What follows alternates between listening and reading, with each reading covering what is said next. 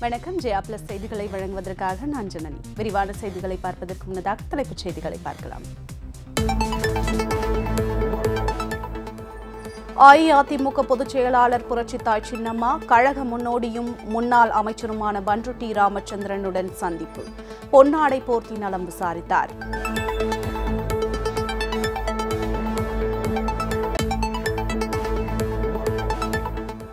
சாதி மதம் பார்க்காமல் அனைவரையும் ஒன்றாக இணைத்து செயல்படுவதுதான் அஇஅதிமுகவின் அடிப்படை கொள்கை பண்பாடு.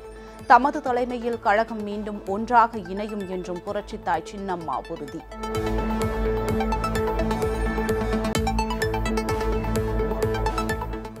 இங்கிலாந்தில் நடைபெறும் காமன்வெல்த் பளுதூக்குதலில் இந்தியாவிற்கு இரண்டாவது தங்கம். ஆண்கள் அறுபத்தி ஏழு கிலோ எடை பிரிவில் ஜெரிமி லால்ரனுங்கா தங்கம் வென்றார்.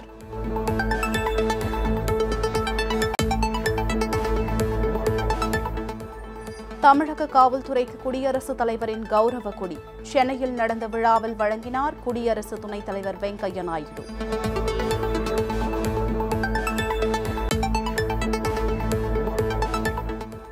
மேட்டூர் அணையின் பதினாறு கண் பாலத்தில் உபரி நீர் திறப்பு. தண்டோரா மூலம் பொதுமக்களுக்கு வெள்ள அபாய எச்சரிக்கை.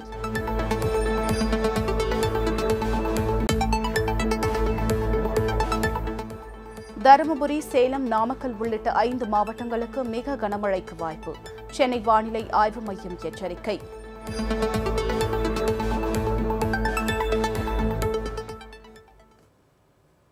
இனி விரிவான செய்திகளை பார்க்கலாம்.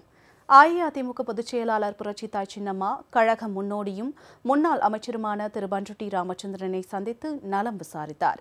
கழக முன்னோடியும் முன்னாள் அமைச்சருமான திரு. பன்ருட்டி ராமச்சந்திரனை சென்னை அசோக் நகரில் உள்ள அவரது இல்லத்திற்கு சென்று அஇஅதிமுக பொதுச் செயலாளர் புரட்சித்தாய் சின்னம்மா சந்தித்தார். சின்னம்மாவுக்கு மலர்கொத்து வழங்கி திரு. பன்ருட்டி ராமச்சந்திரன் வரவேற்றார்.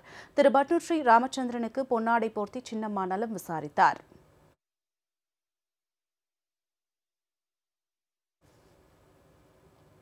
அஇஅதிமுகவில் உள்ள அனைவரும் தனக்கு வேண்டியவர்கள்தான் என்றும் அனைவரும் ஒன்றாக சேர்ந்து பயணிக்க வேண்டும் என்பதுதான் தமது எண்ணம் எனவும் அஇஅதிமுக பொதுச் செயலாளர் புரட்சித்தாய் சின்னம்மா தெரிவித்தார். சென்னை அசோக் நகரில் செய்தியாளர்களிடம் பேசிய புரட்சித்தாய் சின்னம்மா புரட்சித் தலைவர் டாக்டர் எம்ஜிஆர் கட்சி தொடங்கும் போது சாதி மதம் பார்த்ததில்லை என்றும் அந்த அடிப்படை கொள்கை எங்கள் மனதில் உள்ளது என்றும் தெரிவித்தார். கட்சி என்பது ஒரு நிறுவனம் அல்ல அது அனைவருக்குமான ஒரு இயக்கம் என்றும் அஇஅதிமுக ஒரே குடும்பம் காரணமாக ஐம்பது ஆண்டுகால வழியில் வந்திருப்பதாகவும் சின்னம்மா குறிப்பிட்டார். தான் செல்லும் பகுதிகளில் திமுக தேர்தல் அறிக்கையில் குறிப்பிட்டதை செயல்படுத்தவில்லை என்றும் மேலும் மாண்புமிகு அம்மா கொண்டு வந்த ஏழை எளியோருக்கான திட்டங்களை எல்லாம் முடக்கிவிட்டதாகவும் பொதுமக்கள் குற்றம் சாட்டுவதாக சின்னம்மா தெரிவித்தார். அவங்க எங்களுடைய மூத்த அண்ணன் அதனால் நான் வந்து பார்த்துட்டு போகலான்ட்டு வந்தேன். மற்றபடி அரசியல் விஷயமா எல்லாமே கலந்து பேசிக்கிட்டோம். திரு ஓ. பன்னீர்செல்வமும் இணைந்து செயல்பட வேண்டும் சொல்லிட்டு நூற்றுக்கும் மேற்பட்ட தேவர் அமைப்புகள்லாம் லெட்டர் எழுதிக்கிறதா ஒரு செய்தி வந்திருக்கு. அது தொடர்பாக உங்களோட கருத்து என்ன? உங்களோட நிலைப்பாடு என்ன? என்னை பொறுத்த வரைக்குங்க அதிமுகவில் உள்ளவங்க அத்தனை பேரும் எனக்கு வேண்டியவங்க தான். அதனால் எல்லோரும் சேர்ந்து ஒன்றாக இணைந்து பயணிக்கணுங்கிறது தான் என்னுடைய ஆசை. சாதி ரீதியாக இப்போ வந்து ஒரு பக்கம் கவுண்டர்கள் ஒரு பக்கம் தேவர்கள் பிளவு வந்து அதிமுக ஏற்பட்டுருச்சு அப்படின்ற கருத்து வந்து வைக்கப்படுறாங்க தலைவர் வந்து இந்த கட்சியை ஆரம்பிக்கும்போது ஜாதியும் பார்த்ததில்ல மதமும் பார்த்ததில்ல. அந்த அடிப்படை கொள்கை வந்து இந்த நிமிஷம் வரைக்கும் எங்கள் மனசுலையும் இருக்குது அதனால் அனைத்திந்திய அண்ணா திராவிட முன்னேற்ற கழகம் அப்படிங்கிறது எல்லாரையும் ஒன்றாக நினைக்கிற ஒரு இயக்கம். அது மதமாக இருந்தாலும் சரி ஜாதியாக இருந்தாலும் சரி. அதன் அடிப்படையில் தான் என்னுடைய ஒவ்வொரு நகர்வும் இருக்கும். எல்லாரையும் ஒன்றிணைத்து செல்லக்கூடியது தான் அனைத்து இந்திய அண்ணா திராவிட முன்னேற்ற கழகத்தினுடைய பண்பாடு. எங்கள் தலைவர் அந்த வழியை தான் காமிச்சிருக்காரு. அந்த வழியில் தான் நான் எடுத்து செல்வேன். ஆனால் இது எதுக்குமே இடம் கொடுக்காத வகையில் திரு ஓ பன்னீர்செல்வம் முதற்கொண்டு மாவட்ட செயலாளர்கள் நீக்கிறாங்க. அஹ், மக்களவை உறுப்பினராக இந்த ரவீந்திரன் வந்து நீக்கிட்டாங்க. அப்படியே அவங்க ஒரு அவங்க எல்லாமே அவங்க ஒரு பாதையில் வந்து அவங்க ரொம்ப தீவிரமாக பயணிக்கிற மாதிரி இருக்கு. அதாவதுங்க கட்சி அப்படின்னு சொல்லும்போது அது வந்து ஒரு நிறுவனம் அல்ல. இது வந்து எல்லாருக்குமான ஒரு இயக்கம்தான் அனைத்து இந்திய அண்ணா திராவிட முன்னேற்ற கழகத்தை பொறுத்த வரைக்கும். அதில் உள்ளவங்க அத்தனை பேரும் ஒரே குடும்பத்தை சேர்ந்தவங்க அப்படின்ற இதில் தான் ஐம்பது ஆண்டு காலமாக இந்த கட்சி வந்து வந்திருக்கு. அதை நிலைநிறுத்துறது தான் என்னுடைய கடமையும் கூட.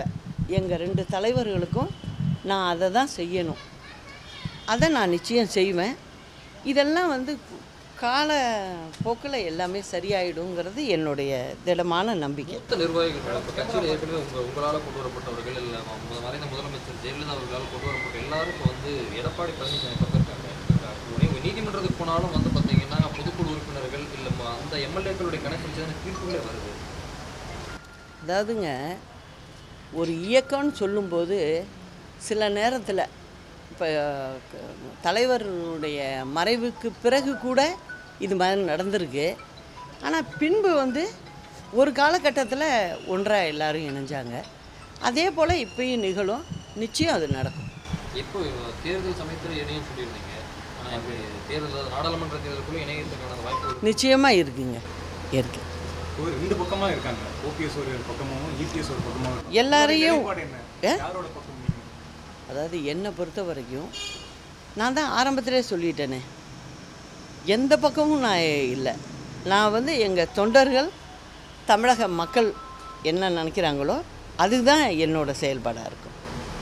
தொடர்ந்து பு- புரட்சி பயணத்தை வந்து மேற்கொண்டு வரீங்க. பல்வேறு மாவட்டங்கள் சுற்றுப்பயணம் போறீங்க. ஆமாம் தொண்டர்களுடைய வரவேற்பு மக்களுடைய வரவேற்பு நல் நல்லா இருக்குங்க. ரொம்ப நல்லா இருக்கு. அதுவும் குறிப்பாக வந்து பொதுமக்கள் வந்து ரொம்ப எதிர்பார்க்குறாங்க எங்களை.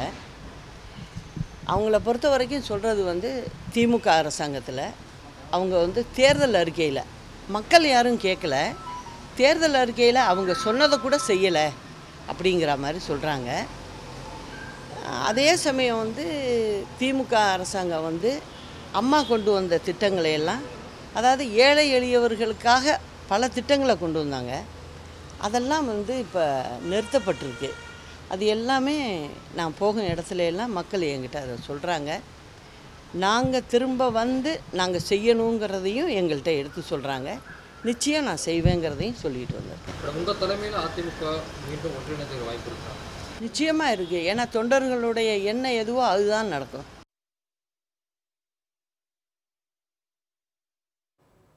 காமன்வெல்த் போட்டி பளுதூக்கும் பிரிவில் இந்தியாவின் மீராபாய் சானு பிந்தியா ராணி தேவி ஆகியோர் பதக்கம் வென்றுள்ளதற்கு அஇஅதிமுக பொதுச் செயலாளர் புரட்சித்தாய் சின்னம்மா வாழ்த்து தெரிவித்துள்ளார்.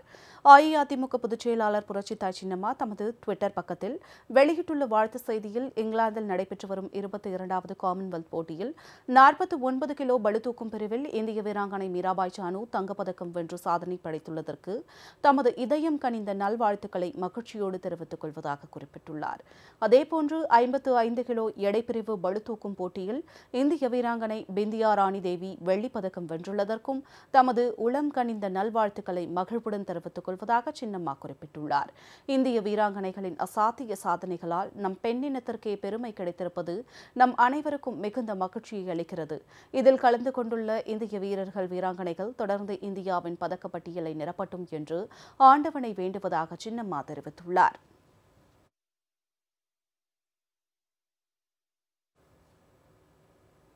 செஸ் ஒலிம்பியாட் தொடரில் மூன்றாவது சுற்றில் இந்திய வீரர்கள் குகேஷ் அபிஜித் ஹரிகிருஷ்ணா ரவுனக் சத்வானி ஆகியோர் வெற்றி பெற்றுள்ளனர்.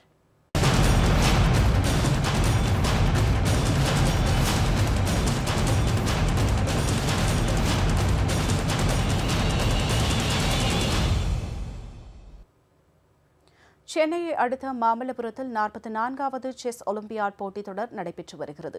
இதில் மூன்றாவது சுற்றில் சுவிட்சர்லாந்து அணிக்கு எதிரான போட்டியில் இந்திய பி அணி ஓபன் பிரிவில் வெற்றி பெற்றுள்ளது. மூன்றாவது சுற்றில் தமிழக கிராண்ட் மாஸ்டர் குகேஷ் தனது முப்பத்தி ஏழாவது நகர்த்தலில் சுவிட்சர்லாந்தின் ஜார்ஜியாடிஸ் நிக்கோவை வென்றார். இந்திய வீரர் ஹரிகிருஷ்ணா தனது முப்பதாவது நகர்த்தலில் டெமிட்ரியோஸை வீழ்த்தினார். ஐஸ்லாந்தை சேர்ந்த குட்முண்டூரை எதிர்கொண்டு முப்பத்து ஆறாவது நகர்த்தலில் வென்றார். அபிஜித் குப்தா. சுவிட்சர்லாந்தின் போக்னர் செபஸ்டியனை வென்றார் சரின் நிஹில் பொதுப்பிரிவு ஏ அணியில் விளையாடிய ஹரிகிருஷ்ணா கிரீஸ் நாட்டை சேர்ந்த ரவுனக் சத்வானி அபிஜித் ஆகியோரும் வெற்றி பெற்றுள்ளனர். மூன்றாவது சுற்றில் உடல்நிலை சரியில்லாததால் ஆஸ்திரிய வீராங்கனை பங்கேற்கவில்லை. இதையடுத்து நந்திதா வெற்றி பெற்றதாக அறிவிக்கப்பட்டது. செஸ் போட்டிகளை காண வந்த முதலமைச்சர் திரு மு ஸ்டாலின் வீரர்கள் வீராங்கனைகளை சந்தித்து ஏற்பாடுகள் குறித்து கருத்துக்களை கேட்டறிந்தார்.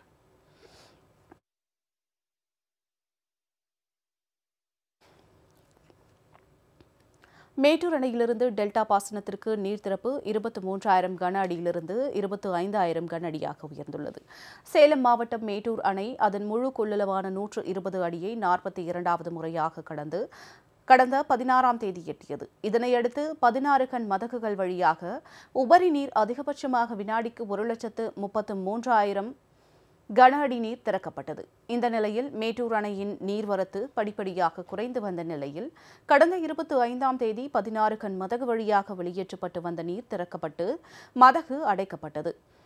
இந்த நிலையில் மேட்டூர் அணையிலிருந்து திறக்கப்படும் நீரின் அளவு இருபத்து மூன்றாயிரம் கன அடியிலிருந்து இருபத்து ஐந்தாயிரம் கன அடியாக அதிகரிக்கப்பட்டுள்ளது. மேட்டூர் அணை மின் நிலையம் மற்றும் சுரங்க மின் நிலையம் வழியாக இருபத்து மூன்றாயிரம் கன அடி நீரும் திறக்கப்பட்டுள்ளது.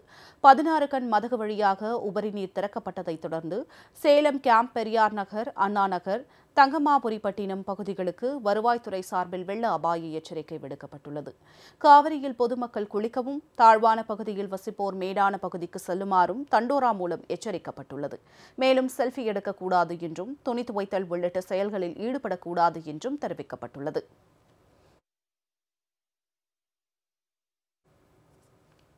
செங்கல்பட்டு அருகே ஆற்றில் குளிக்க சென்ற ஒரே குடும்பத்தைச் சேர்ந்த இரு சிறுமிகள் உட்பட மூன்று பேர் நீரில் மூழ்கி உயிரிழந்த சம்பவம் சோகத்தை ஏற்படுத்தியிருக்கிறது. சென்னை செங்குன்றம் பகுதியைச் சேர்ந்த குமரேசன் மற்றும் அவரது தம்பி சதீஷ் ஆகியோர் தங்களது குடும்பத்தினருடன் ஆட்டோவில் மேல்மலையனூர் கோவிலுக்கு சென்றுவிட்டு திரும்பிக் கொண்டிருந்தனர். வரும் வழியில் செங்கல்பட்டு மாமண்டூரை அடுத்து பாலாற்று படுகையில் அவர்கள் குளிக்க சென்றுள்ளனர். அப்போது குமரேசன் மகள் சிவசங்கரி மற்றும் சதீஷ் மகள் சிவஸ்ரீ மற்றும் அவரது குடும்ப நண்பர் ஸ்ரீனிவாசன் ஆகிய மூவரும் நீரில் மூழ்கி உயிருக்கு போராடினர். உடனடியாக அவர்களை மீட்க முடியாமல் போனதால் மூவரும் உயிரிழந்தனர். அவர்களின் சடலங்களை தீயணைப்புத் துறையினர் மீட்டதை அடுத்து உடற்கூறாய்விற்காக செங்கல்பட்டு அரசு மருத்துவமனைக்கு அனுப்பி வைக்கப்பட்டனர்.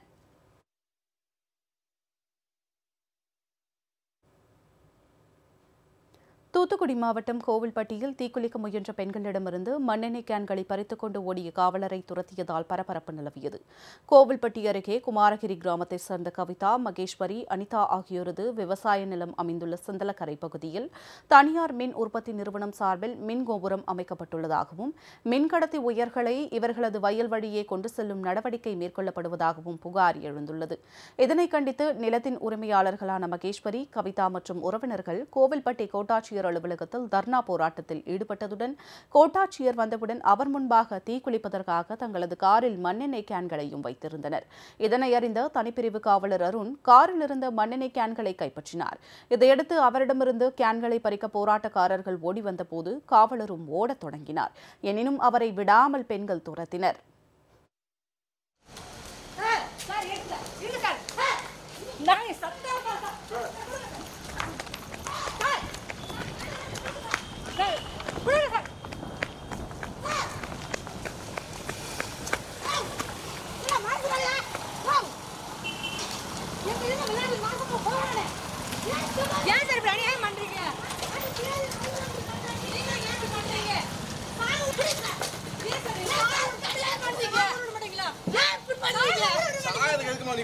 போறீங்க சாவு பிடிங்க நாங்க எங்க போகுதுல பண்ணி கொடுங்க பண்ணி கொடுங்க வாங்கண்ணே காவலரின் செயலை கண்டித்து எட்டயபுரம் சாலையில் சாலை மறியல் போராட்டத்தில் ஈடுபட்டனர். இதையடுத்து போலீசார் கோட்டாட்சியர் மற்றும் அலுவலர்கள் பேச்சுவார்த்தை நடத்தினர். ஏக்கர் நேரம் தான் எங்களுக்கு இருக்குது அதில் விவசாயம் செஞ்சு தான் நாங்கள் பிழைங்க சார். அதையும் இப்போ டவர்காரங்க சென்டரில் போகிறாங்க சார். போகக்கூடாதுன்னு சொல்லி நாங்கள் மனு கொடுத்துருந்தோம். அந்த மனு எதுவுமே அவங்க சரி எதுவுமே பண்ணலை அவளுக்கு சார். ரெஸ்பான்ஸ் இல்லை. இப்பயும் அந்த ரவுடி அந்த முப்பத்தஞ்சு பேர் அங்கே இருக்காங்க சார். அப்படித்தான் போடுவோம். என்ன வேணால் பண்ணிக்கோங்கன்னு சொல்கிறாங்க சார். இப்போ மண்ணை ஊற்றி கொளுத்த வந்தேன் சார். அதில் கேனோட பிடிங்க போட்டேன். சாகிறதுக்கு கூட எங்களுக்கு வழி இல்லை சார். இப்படி நீங்கள் இந்த அம்மா எதுவும் ஸ்டெப் எடுக்கலன்னா வீட்லயே மண்ணெண்ணை ஊத்திக்கிட்டு இங்க வந்து தீ பொறிச்சிடும் சார். வேற வழியே இல்லை. எங்களுக்கு வந்து பக்கத்துல ஆள் பலமோ பண பலமோ எதுவுமே இல்லை சார். இந்த இந்த அந்த அம்மா தான் எங்களுக்கு என்னன்னு கேட்டு கொடுக்கணும். அவ்வளவுதான் சார் எங்களுக்கு.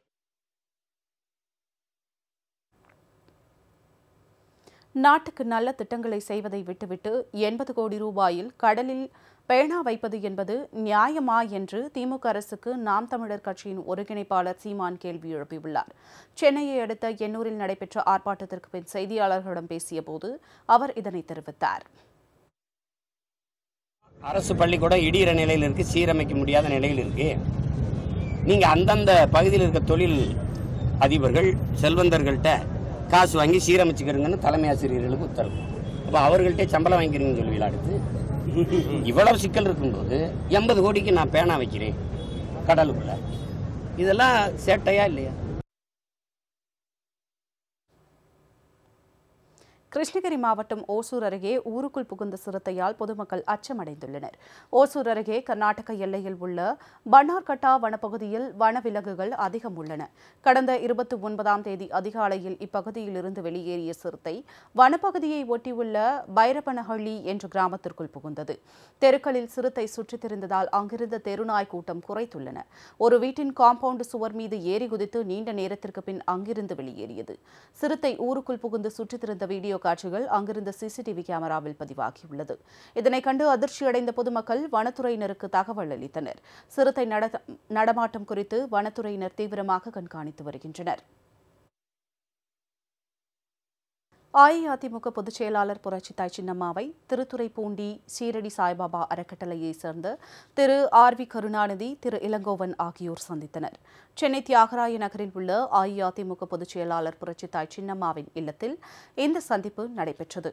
அப்போது ஸ்ரீ சீரடி சாய்பாபா ஆலய மகா கும்பாபிஷேக விழாவிற்கான அழைப்புதலை சின்னம்மாவிடம் வழங்கினர். கும்பாபிஷேக நிகழ்ச்சியில் கலந்து கொள்ளுமாறு சின்னம்மாவுக்கு திரு ஆர் வி கருணாநிதி திரு இளங்கோவன் ஆகியோர் அழைப்பு விடுத்தனர்.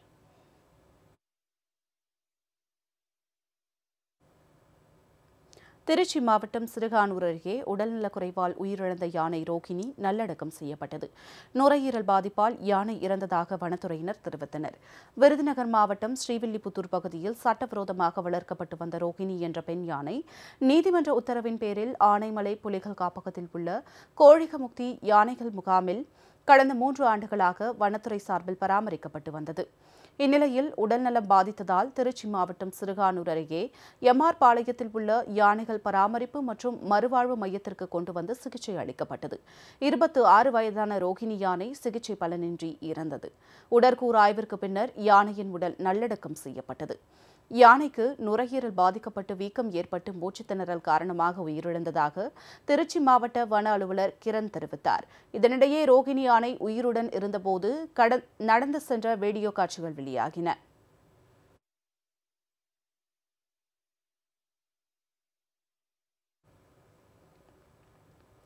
திண்டுக்கல் மாவட்டம் கொடைக்கானல் வெள்ளி நீர்வீழ்ச்சியில் தண்ணீர் வெள்ளம் என்று பெருக்கெடுத்து பாய்கிறது. கொடைக்கானலில் கடந்த நான்கு நாட்களாக மிதமான தொடர் மழையும் இடையிடையே சாரல் மழையும் பெய்து வருகிறது. கடந்த இருபத்தி நான்கு மணி நேரத்தில் கொடைக்கானலில் நாற்பது மில்லிமீட்டரும் கொடைக்கானல் போட் கிளப் பகுதியில் நாற்பத்து மூன்று மில்லிமீட்டர் மழையும் பதிவாகியுள்ளது. இந்நிலையில் வத்தலகுண்டு பகுதியிலிருந்து கொடைக்கானல் செல்லும் மலைப்பாதையில் செண்பகனூர் அருகே அமைந்துள்ள வெள்ளி நீர்வீழ்ச்சியில் வெள்ளப்பெருக்கு ஏற்பட்டுள்ளது.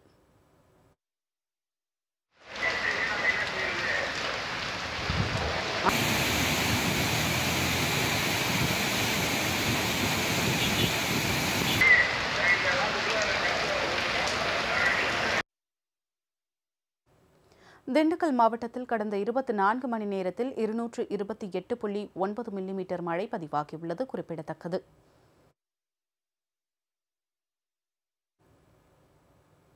மேற்கு தொடர்ச்சி மலைப்பகுதியில் பரவலாக மழை பெய்து வருவதால் தென்காசி மாவட்டம் குற்றால அருவிகளுக்கு தண்ணீர் வரத்து அதிகரித்துள்ளது.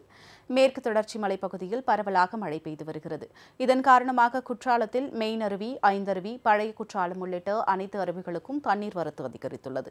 தொடர்ந்து தண்ணீர் வரத்து காரணமாக குற்றாலத்தில் சுற்றுலா பயணிகள் குவிந்து வருகின்றனர். இன்று விடுமுறை நாள் என்பதால் சுற்றுலா பயணிகள் கூட்டம் அதிகரித்தது. சுற்றுலா பயணிகள் நீண்ட வரிசையில் நின்று அருவிகளில் குளிக்க போலீசார் அனுமதி அளித்தனர்.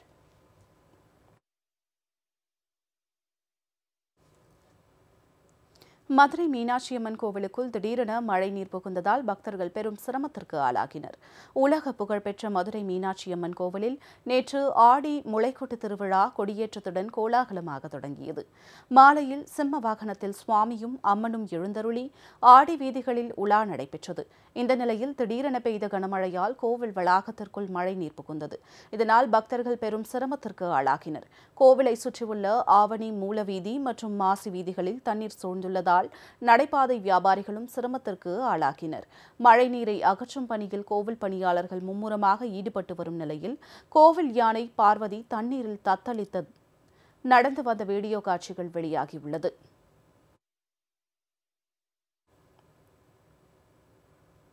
புதுக்கோட்டை பிரகதாம்பாள் கோவில் தேரோட்ட விழாவில் தேர் திடீரென கவிழ்ந்து விபத்துக்குள்ளானது. இதில் பத்திற்கும் மேற்பட்டோர் காயமடைந்தனர். புதுக்கோட்டையில் புகழ்பெற்ற அன்னை பிரகதாம்பாள் கோவில் திருவிழா கொடியேற்றம் கடந்த எட்டு நாட்களுக்கு முன்பு நடைபெற்றது. ஒன்பதாவது நாளான இன்று காலை எட்டு முப்பது மணிக்கு தேரோட்டம் தொடங்கியது. நான்கு தேர்களும் முக்கிய வீதிகள் வழியாக வந்தன. முதல் தேரில் விநாயகர் இரண்டாவது தேரில் முருகர் மூன்றாவது தேரில் பிரகதாம்பாள் நான்காவது தேரில் சண்டிகேஸ்வரர் என்று வரிசையாக தேர்கள் புறப்பட்டன. அப்போது மூன்றாவது தேர் திடீரென கவிழ்ந்தது. இதில் பத்திற்கும் மேற்பட்டோர் காயமடைந்தனர். சம்பவ இடத்திற்கு வந்த மாவட்ட ஆட்சியர் மாவட்ட காவல்துறை கண்காணிப்பாளர் ஆகியோர் ஆய்வு செய்தனர். விபத்தில் காயமடைந்தவர்கள் புதுக்கோட்டை அரசு மருத்துவமனையில் சேர்க்கப்பட்டுள்ளனர்.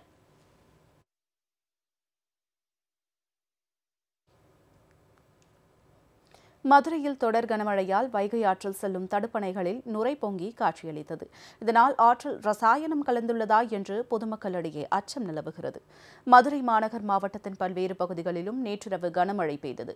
இதன் காரணமாக வைகை ஆற்றில் நீர்வரத்து அதிகரித்தது. வைகை ஆற்றங்கரையோர பகுதிகளான செல்லூர் மீனாட்சிபுரம் ஆகிய பகுதிகளிலும் நுரை பொங்கி நிற்பதால் பொதுமக்கள் அச்சமடைந்துள்ளனர். வைகை ஆற்றில் கழிவுநீர் கலப்பதை தடுக்க பல கோடி ரூபாய் செலவில் திட்டங்கள் செயல்படுத்தப்பட்டு வரும் நிலையில் மீண்டும் கழிவுநீர் வைகை ஆற்றில் கலப்பதால் நுரை பொங்குகிறதா அல்லது ரசாயனம் கலந்துள்ளதா என்ற சந்தேகம் நிலவுகிறது. வைகை ஆற்றை தூர்வார நடவடிக்கை எடுக்க வேண்டும் என்றும் பொதுமக்கள் கோரிக்கை விடுத்துள்ளனர்.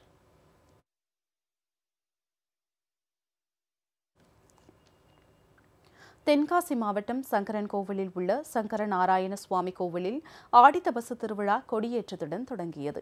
சங்கர நாராயண சுவாமி கோவிலில் ஆடித்தபசு திருவிழா ஆண்டுதோறும் ஆடி மாதம் பன்னிரண்டு நாட்கள் நடைபெறுவது வழக்கம். இந்த ஆண்டுக்கான விழா கொடியேற்றத்துடன் கோலாகலமாக தொடங்கியது. அதிகாலை மூன்று மணிக்கு கோவில் நடை திறக்கப்பட்டு கொடிப்பட்டத்திற்கு அபிஷேகம் மற்றும் சிறப்பு வழிபாடுகள் நடைபெற்றன. பின்னர் கொடிமரத்தில் கொடியேற்றப்பட்டு அபிஷேகம் மற்றும் வேத மந்திரங்கள் முழங்க சிறப்பு தீபாராதனை நடைபெற்றது. கொடியேற்ற விழாவில் திரளான பக்தர்கள் பங்கேற்று தரிசனம் செய்தனர். தேரோட்ட நிகழ்ச்சி ஆகஸ்ட் எட்டாம் தேதி நடைபெறவுள்ளது.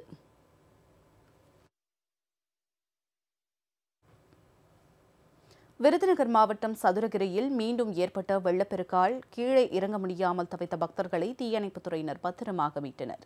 விருதுநகர் மாவட்டம் மேற்கு தொடர்ச்சி மலைப்பகுதியில் அமைந்துள்ளது சதுரகிரி சுந்தர மகாலிங்கம் கோவில். இந்த கோவிலானது தரைமட்டத்திலிருந்து சுமார் நான்காயிரத்து ஐநூறு அடி உயரத்தில் அமைந்துள்ளது. அமாவாசை மற்றும் பௌர்ணமி நாட்களில் மட்டும் இக்கோவிலுக்கு பக்தர்கள் செல்ல அனுமதிக்கப்பட்டுள்ளனர்.